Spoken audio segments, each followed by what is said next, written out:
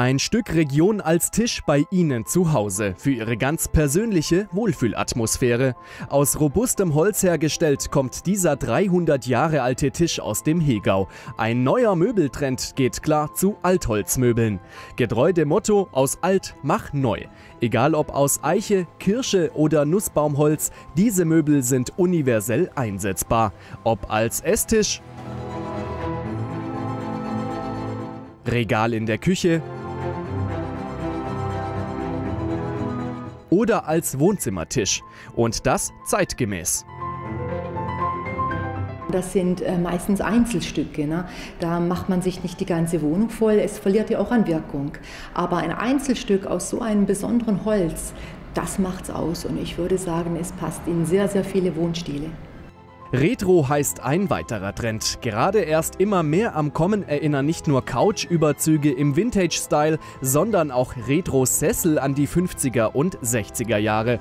Vielen noch von Oma oder Opa bekannt, interessiert sich laut unserer Expertin eher die jüngere Generation ab 30 Jahren an den Möbeln. Hier wird der alte Stil mit modernem, zeitgemäßem Stil kombiniert. Es hat was damit zu tun, einfach Altes wieder auferleben zu lassen, genauso wie die Altmöbel, ne, haben wir schon gesprochen, als Altholz, ne, einfach auch den alten Style der Möbel ne, und das genau zu kombinieren, so auch seinen ganz eigenen Stil zu finden, so wie man auch einen Oldtimer gern fährt zum Beispiel. Ja, der Mensch ist ja bekanntlich sehr bequem. Daher geht ein weiterer starker Trend zu Funktionsmöbeln.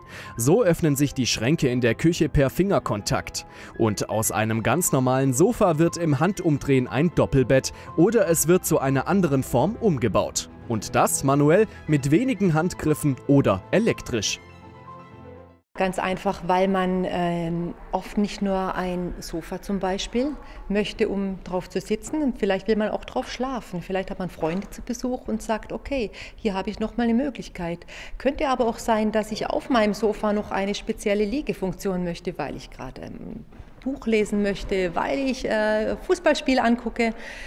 Und in anderen Bereichen, also beim Tisch ganz einfach, ich habe mehr Personen, der Tisch muss größer werden. Ne? Er muss also auch funktionell sein. Ne? Nicht nur schön, Design ist ganz toll, aber er muss auch funktionell sein.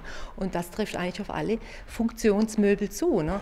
Nicht nur das Design, sondern einfach die Funktion dazu muss äh, stimmen.